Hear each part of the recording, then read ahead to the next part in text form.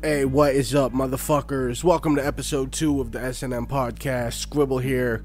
I do gotta say, there was a lot of heavy editing in this episode, so it kind of at the end just dwindles off and fades out. We were experimenting on how to record the podcast, and this was just one experiment, and we learned okay, not that anymore. But uh, the audio quality's all over the fucking place. But it's still an interesting uh, episode, an interesting topic, so I figured we'd drop it anyway. We are getting our shit together. We have already uh, banked a couple more episodes, and they sound way better than this. So stick the fuck around, all right? Don't leave us already. So enjoy it, rate and review the podcast, and suck my dick. Let's go. Famcast Media, bitch. Welcome to the S&M podcast. Skribbal and Madd Maxxx. What? What? The name is not my path, keep my circle tight. Spitting up that verbal light to shed upon the vagabond who's searching for some more to life. Blah. Now approaches the wandering Jew. I'm taking some bumps and lacing some blunts, and I'm just smoking and sauntering. What up, bro? Uh, well, we finally got a fucking name. Yeah, yes, we do, which I think is uh, I think is a good name. I think it definitely uh, it speaks to what we're going for. It's clever and it's you know again it, it, it's uh, topical. Yeah, and people might, uh, in the beginning, might be like, "What the fuck is this podcast? Uh, this is gonna be some kinky, underground, dark shit." But uh, I gotta give full props to the homie Dee Rotten. That's uh, that's my my homie Dee Rotten came up with the name. Uh, I talked I talked to him I talked to him earlier today, and uh, we, were- we, were, we were coming up with some shit, and then he just hit me with, "How about S and M?" I'm like, "Oh shit!" And then uh, Madd Maxxx added the underground to it, so I think it's Just go straight S and M. That is definitely we are going to be attracting a very specific audience, which at a certain point I'm not necessarily against it, but that is not really what we are going for. So, so let me ask you something. I feel like this is a good. No, it just popped into my head. I was looking at some shit. I seen uh, Funkmaster Flex, Funkmaster Flex Night, Funkmaster Flex Night. He's fucking apparently lifted the ban on Tekashi Six Nine. He's gonna start playing his music again because, as he put it, snitching is now acceptable in hip hop, and so he doesn't feel he's responsible to like. He made a whole post about it. I didn't read the whole thing, but that was the gist of it. I didn't So- even know that he was like on this crusade to ban six nine. I didn't even know that. Well, for, well, okay, so for a period, everybody that was New York related, I think Akademiks was one of them, and Funk Flex for a bit, and well, well, but so it wasn't so much about Funk Flex is why I was bringing it up. The reason I was, oh, geez, excuse me. The reason why I was bringing it up is because I wanted to know, like, what do you think the overall, like, like what is the theme or the mood of hip hop right now? Because we know where underground, we know where the underground is at. But do you think that like, do you think that it's kind of taken that direction where it's basically like, are we that far from the roots? I guess is what I'm asking. Well, where you could just like snitch and be mad successful. Basically, yeah. Like, I mean, Yeah, six, well- nine, six nine was supposed to be the exception. You know what I mean? But now Yeah. there's all kinds of shit going on where, like, I haven't. I follow No Jumper on Instagram, so I see the updates. But like, I don't know what the fuck happened. But Young Thug and his whole crew got hemmed up, and then everybody but Thug got let out on some kind of plea deal. And so snitching is apparently a hot topic right now. And Yeah. again, you know, doing the, you know, with, with, you know, doing the underground thing, I feel like that's always been the case, but I have to wonder, like, do you think the underground is going to take that same, like, softening stance? Do you think the underground is going to go that way? I don't think the underground gives a fuck. I, you know, You know what I I think that that's, I think that I agree with that and I don't because I think that a lot of underground interest could give a fuck less about any of that shit.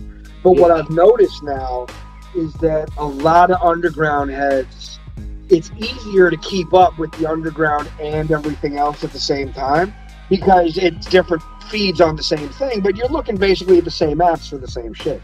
Whereas when we were younger, if you wanted to know about some music, like you had to like dedicate yourself to listening to it. Like you had to go out of your way to find all of it. That was actually one of the reasons why the internet was great in the beginning because you could find deep cuts and shit that you couldn't get at the record store because they just didn't have certain albums. And you know, like that. So I just my I Oh, no, think go ahead. um, I think the six nine thing. Um, and I, I, I hate to be this guy because I love Snoop and I love you know a lot of these classic motherfuckers. But they're you know how much of this is now because we just live in the internet age and we, we can access information.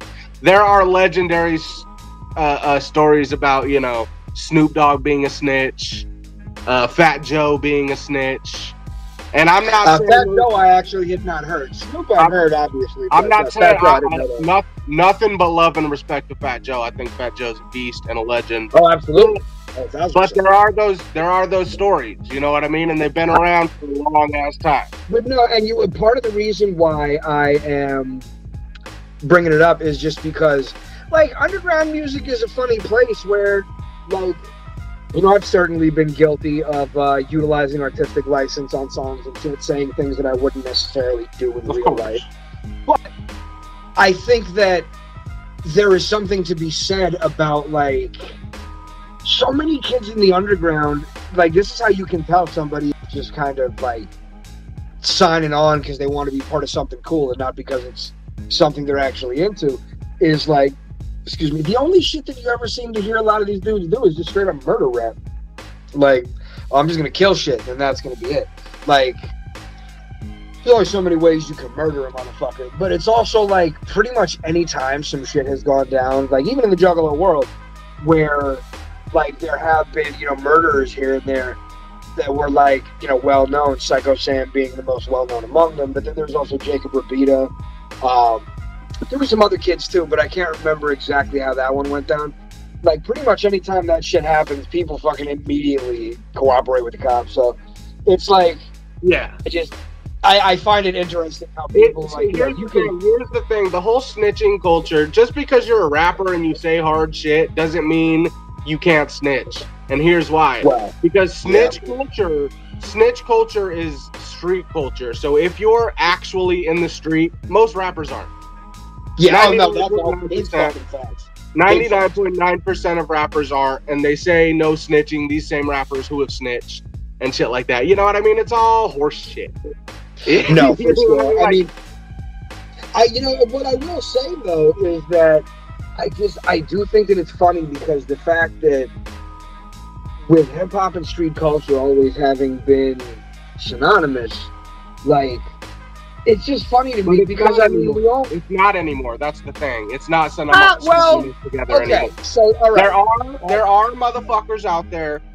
uh, who are in the street and in hip hop, but I guarantee you those dudes are mad underground. And you know there might be a few mainstream ones, but 99% of rappers are not street dudes. Most rappers, I'd say, who are rapping that kind of shit, um, are kind of like Nas. They were the guy who grew up around it. That that was me. You know what I mean? Like I never Right. fucking went and robbed motherfuckers and and all this kind of shit. Like I was I was observing what I was growing up around. I was Yeah. I was telling the story. You know. no, for sure. I know. I I can a thousand percent dig that. I again, it's I I it, I couldn't even say that I had seen so much because it's not like I was raised around it. I kind of brought myself around it, but I definitely, you know, I had seen some things here and there where. For me, I always thought that it was good just so that I was able to say that I was aware of that actual part of the world, as opposed to like so many people, white people, a lot of the time, they always have this like oh you know i feel so bad about you know like what happens to um you know minorities in this country. But White yeah exactly. But the reality of it is like when you've been when you've seen the, the trenches so to speak even if you weren't there full time if you've never even seen it from a distance you know that it's everybody in it. so it's like there's no like I again, I think that with underground music, it was weird how it happened. Where I honestly think it has a lot to do with how it's easier and cheaper to be a rapper now. I really do. I really Yeah. think that a big part of how that all came about is that like so many of these artists in the new age, they're all well known. Like Billie Eilish, is a perfect example. Now, granted, they built like a straight up legit studio in the house, but they recorded everything there. Like they just learned how to do it, just, did it from there. And for rap and shit, that was like you've been able to do it for a while, but the quality was shit until like.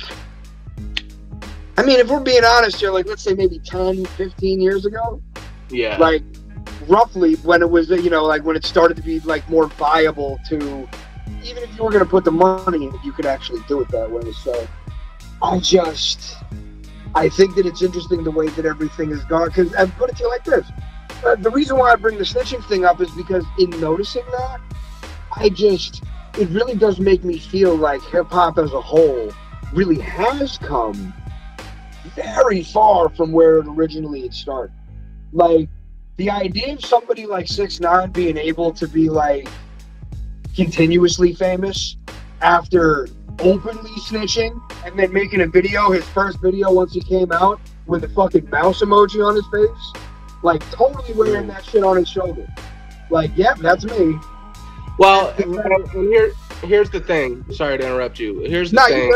Um, yes, definitely, bro. If you were coming up in the '90s or the the, the '80s and and you were pulling that shit, you you'd have no career whatsoever. So definitely, what I'm saying. definitely, modern times plays into this. Yeah. Um, but here, here, here's also the thing about six nine specifically, is Right. this this dumb fuck. Yes, he is a genius as far as marketing and taking that snitch thing and and getting billions of views on it, right? But I mean, if you look at him now, like nobody's talking about six nine. You know what I mean? He hasn't released a music video in nine fucking months, a year or something like that.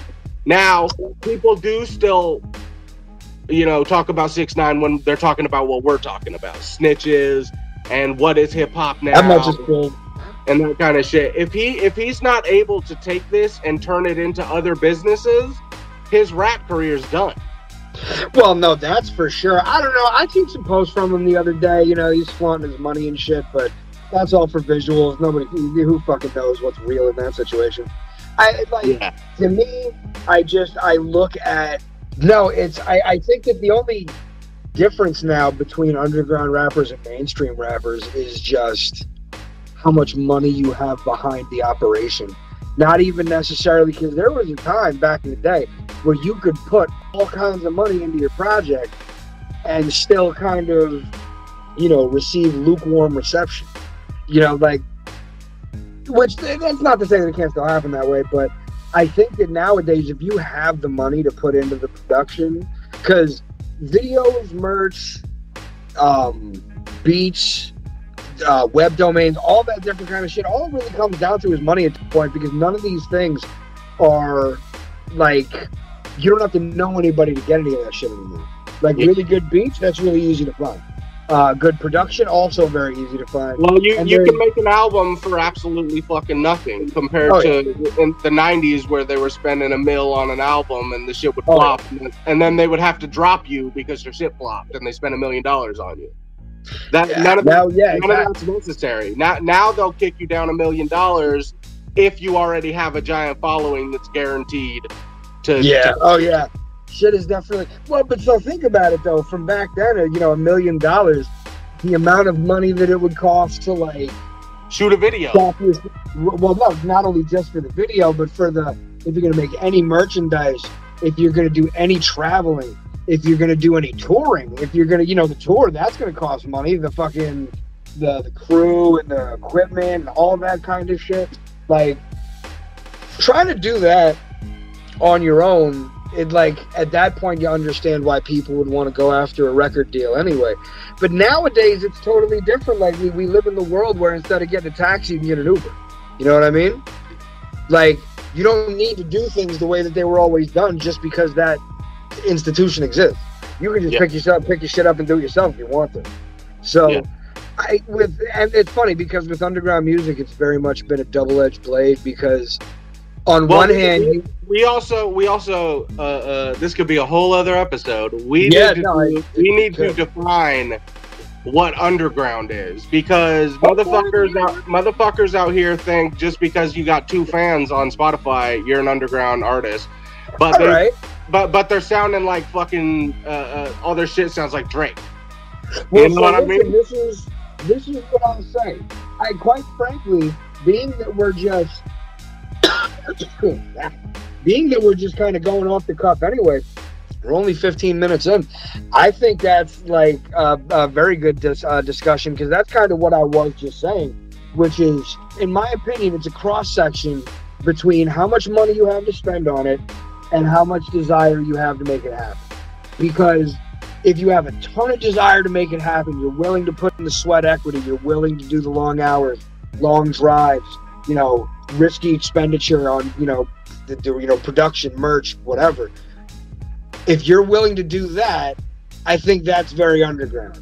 Because I think that if but on the on the flip side to that, I also think that you can be kind of underground or kind of in the underground domain if you have a ton of money to put towards it, but it's just kind of something that you're doing. Like it doesn't seem to be like like because I've seen so many artists now over the last few years where like they pop up out of nowhere, they're independent, and they gain like a little bit of a following, and then you just never hear from them again. So it's like I feel like Oliver Tree is almost in that realm, but he's like closer to mainstream at this point. Um, I don't know if you ever heard of Ashnikko. She's kind of in that direction. I don't know what the fuck she's been doing for a while, but like that was weird too, just her style in general. I don't know. I think that underground has more to do with your desire to make it happen than it does what actually happened. Because Oh, to would me, that be would that be would that be independent or underground or are they? Oh no! the Well, I think, I think in this case, I think independent and underground kind of go hand in hand because I think that in, in this day and age, like underground labels, it's kind of like I don't know. That is a weird. I mean, I guess To because me- here's- to me- here's the thing, if you have a label working with you, but that label has almost no resources, then I mean, the results are going to kind of be underground in most cases anyway. You know what I mean? Because you're, it's not going to. It's rare to be able to get that reach without Well, having resources. you, can, you can you can come into the game and be totally totally independent, right? And you're Right. financing you're financing all your own shit. You're financing uh, uh, ad time on YouTube. You got tons of money for AdSense. Tom MacDonald, right? Uh, that dude He came out of also, he nowhere. also capitalized on fucking. Um, he also capitalized on fucking. Why can't I think of the right word? Uh, controversy. He Yeah, capitalized on controversy. Yeah, but at the same time, I would never call him an underground. He sound to me, underground is more the way you sound. You know what I mean? It's more of a Alright, you sound. know? I think that I think there's validity to what you're saying, but what I would have said in Tom MacDonald's case, unfortunately, because whether or not you like the dude, he can rap. It's I, I, you know, I don't personally like his shit. I really don't, but he can put words together. He he is able to rhyme. He is, cer- he is certainly better now than he was two years ago at putting words But together. well, so interesting story. It was pretty well held for a long time that Tom MacDonald didn't write his own shit. That uh, Nova wrote a ton of it. But it was also like, here's the problem. Just based on the way he was doing shit for a while, he was underground for a while. That, like that's for a fact. But he did something that when he started making these videos, and it's still so weird to me that it happened this way because he's Canadian and he has all this shit to say about what Americans should and shouldn't do, but fucking he was definitely and here's the sad part about this. He was definitely trying to play that troll role. Like he was definitely trying to rile people up. He didn't give a fuck if you didn't like what he was talking about. So he was well he was ready to take that to the fucking take that to the wall. But I also happen to know that somebody I'm very close to that I have a lot of respect for knew him before he was popular or knew him before he was really popular. And apparently there was some kind of shit that went down where basically he did a really, really big favor, possibly financial, to this guy. And it's it seems like he is potentially a really solid person, but I would also argue that it's really difficult with shit like that because a lot of people that listen to that shit that get into it, I don't think the majority of them are intelligent enough to understand which part is satire and which part is serious. And they, because that to me, no bullshit. Like I'm not going to get political and whatnot, but that was what I the the bad part about Trump. That's what I think it was. Is that most people were too fucking stupid to understand that there was layers to the shit that he was saying. They take it at face value and then just think this is what I think up and down, and that's it.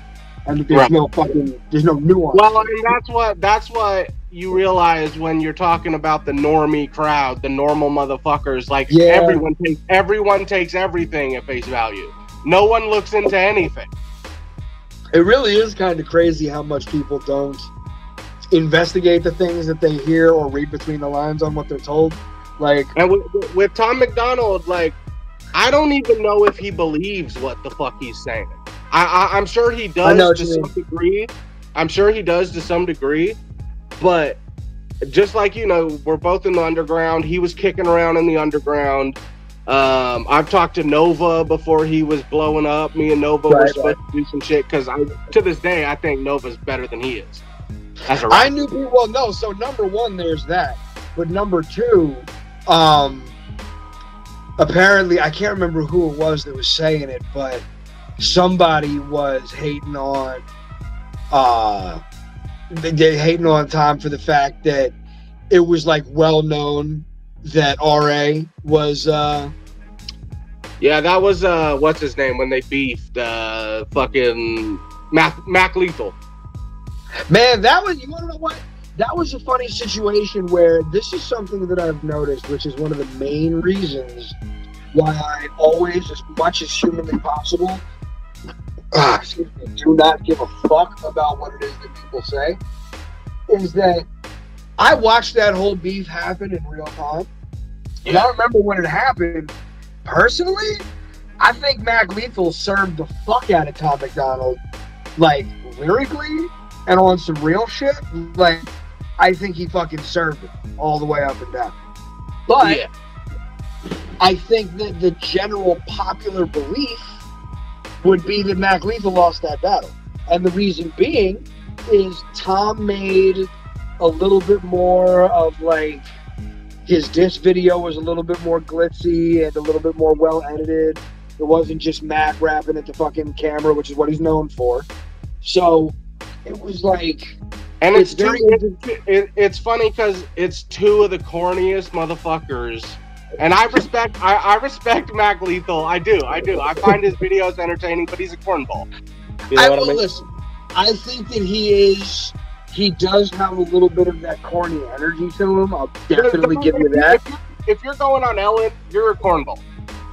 Uh, well, okay, fair enough. But I also happen to know that he trains like ruthlessly in uh, jujitsu and MMA, and that I don't care. hey, I don't care. fair enough. And this is I, not. well, no, okay. So my thing is that I remember him from the like, you know, from the battle circuit, like KOTD and shit. Yeah. And that to me, I'm not Like, saying I'm yeah. not saying I don't got respect for. I got mad respect for Mac Lethal. I just find him uh, uh, of what he's been doing the last few years, and he's he's he found a lane, and this is not hate, but he is mad. His lane just happens to be the mad corny lane. uh, you want to know what? What I will say at this point is, I know that he's got a family, and I'll tell you right now, if I was in a position in my life where I had Yeah, been I'm making rap, hating- I, I'm not even hating him for it. if I if I was at that point, I would I could imagine going the same direction. However, I will say that I think that hip hop and rock and roll in general is not the same as it was.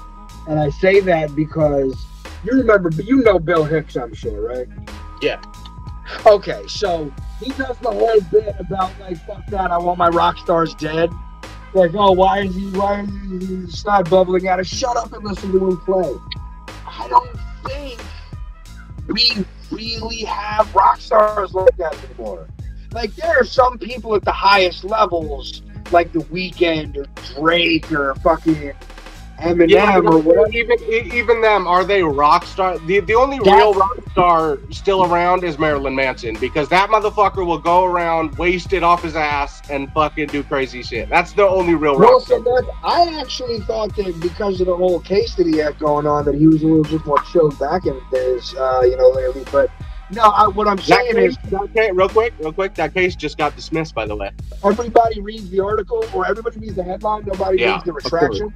And so I've seen a lot of people that are still very much like, um, oh, fuck Marilyn Manson, he's an abuser, this and that. And I think it's very interesting just in the world that we live in Guilty before innocent. people You got you got to prove you're innocent. well, not even just guilty before innocent, but the fact that once you have been accused, in some people's eyes, you can't be proven innocent. Because, again, like you said, the case was dismissed. He was dismissed of charges. But there are going to be people that are going to say, oh, he probably bought it with his celebrity, or bought it with his money, or it wasn't fair somehow. They're saying the same shit about Johnny Depp. It's like at a certain point, if people are going to indict you, that's why I'm saying right, they, you you should never spend too much time worried about what other people have to say about you, because unless they're people that you respect, and if they're people you respect, you probably already have had the conversation with them to begin with. But if it's somebody you respect, it's not going to be some kind of like hateful comment. Yeah. Like people think that people think that they're being fucking truthful just because they're being unfiltered. That's not the same. Right. And and in the in the era where you can literally fucking Google anything, people are still gonna be like, well, no, he's guilty. You know what I mean? Without he never they never went to trial. It was never a fucking you know what I mean? It was never a legit thing. And in this world we live in, people are still want to hold on to that. I do not understand the mentality right there. Well, you want to know what? I think that everybody wants, especially in today's age where information is so easy to come by, everybody wants information to give them a confirmation bias. They want something, or they have a confirmation bias, and they're looking for something to satisfy. They want something that somebody else said to be able to, oh, well, but see, see, this person said it too.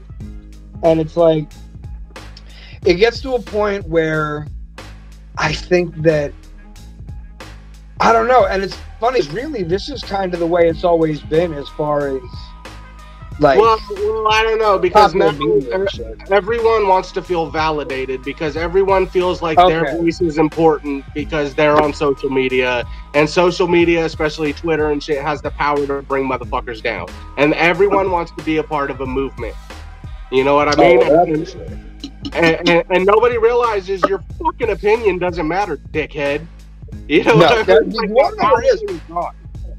this is what I think. I was uh, saying this to my mother the other day. I honestly think that it has something to do with we had been conditioned as human beings over the last like 30, 40, 50 years, something like that, to accept the things that we see on the screen as real to some degree. It's either news or it's a movie or a TV show or a talk show or whatever it is on the TV. Like that was the old joke back in the day. It was on TV. It has to be true.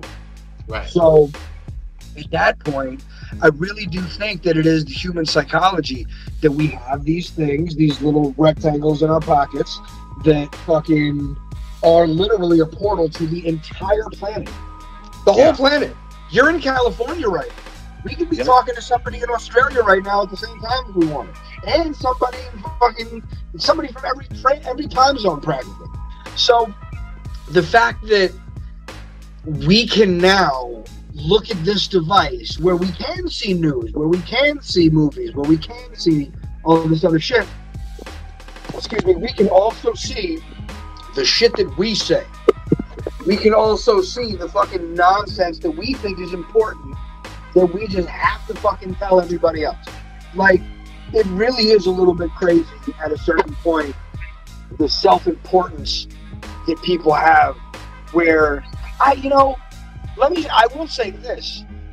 As a rapper, it's mhm. kind of tricky because, I mean, I have the way that I feel about the things that I believe, and you know, like I feel like I it's worthwhile, and I have you know an artistic approach to do it, but like that's the whole thing. Being a rapper really is just this whole like look at me fucking thing, It is. and so like it's very interesting how that breaks down. Uh, I mean, because there's uh, yeah, that's just performers in fucking general, like comedians and dancers. Yeah, but we also we also talking about burying eight motherfuckers in a single song. You know what I mean? Like Well, it's- you want to know what though? See, here's the pro- here's my problem with that is when Scorsese makes a movie and Joe Pesci's brains get fucking blown out, or he beats somebody, some dude so brutally that the fucking revolver gets broken. You know what I mean? That's not looked at as that's looked at as oh that's an unflinching look at the real world of the underbelly of crime. And the thing is, the underground has a lot of people that have really seen a lot of that shit. In my case, it was never that I had seen it; it was that I was I had been around people that had seen it. But fucking Dude, I saw, I saw, I saw, I saw my father take a tire iron to somebody. you Yeah, know what I mean? and a tire iron, that's like a fucking crowbar. That is the Yeah, yeah. He, I don't, I, I don't believe that person ever walked again. I could believe it, depending on what fucking appendages caught contact with the tire iron. That sounds like something that you, if they are intending, you are probably no, you are probably not walking. But no, and you want to know what? Just to, to tie it all back, I it's just funny to me because I've said this before in underground rap and just watching people talk about shit in the fucking in the community here and there. It's like it- murders are things that people hear about. When somebody gets murdered in the community, it's a major fucking situation. So like like people talk a lot about it. There was this one kid, may he rest in peace. His name was Wiley Flew. I don't know exactly what happened to the kid, but I'm pretty sure he was walking down a highway, and then he was like on his way somewhere. I don't know exactly what happened, and then he was murdered in with that, you know, walking down that highway. And when it happened, the underground was beside itself with grief. Like this is fucking horrible.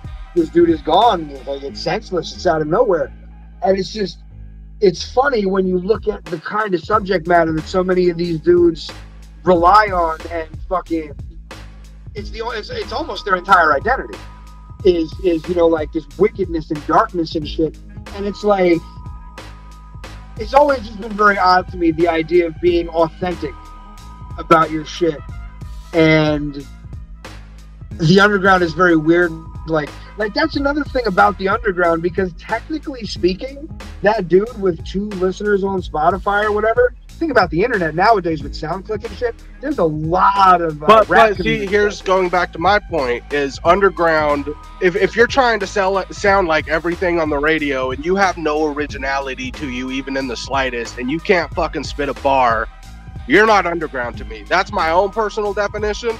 You know what I mean? And it's very, it's very weird because what is underground hip hop? You know what I mean? It's, it's, it's a lot. Most people look at it. Oh, if you're not popping, you're underground. You know what I mean? But I, I don't care if you have no fans. If you're trying to sound like Drake, and you you don't know anything about underground hip hop, are you are you an underground hip hop artist? Yeah, no, we are. No, listen. So we are definitely going to have to uh, figure out the uh, the technicals going forward to make sure that. Uh, I'm uh, honestly, I think I have a uh, webcam somewhere around. Here, Yeah, well, well we're gonna fix it. Going, but yeah, going forward. you know. fix it. going.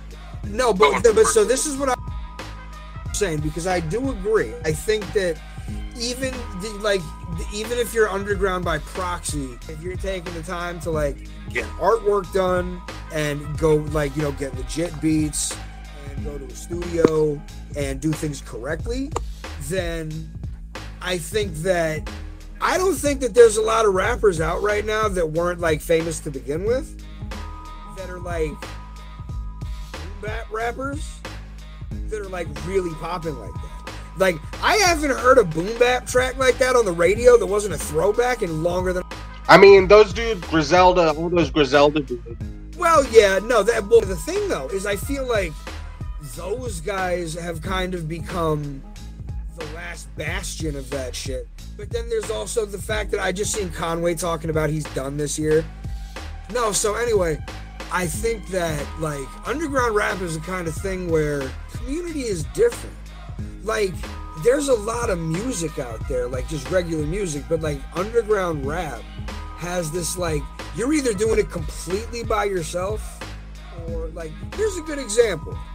Do you think Jedi Mind Tricks is underground? Yeah. Yeah. Okay, well, so then at that point, I think the conversation has to become there are levels to the underground because Jedi Mind Tricks is pretty well known, but I do concede to the idea that, that they still are underground. Basically, the same with like Metro. There's levels to this shit, you know what I mean? And, and Jedi Mind, right below the top tier. I think that Tech Sound is really unique, and I think that it's like there's not really a lot of others doing it like him. But I think the only thing that really makes him underground at that point is the fact that he's still independent. Because technically speaking, they don't get money from anybody else except Travis. But Travis has a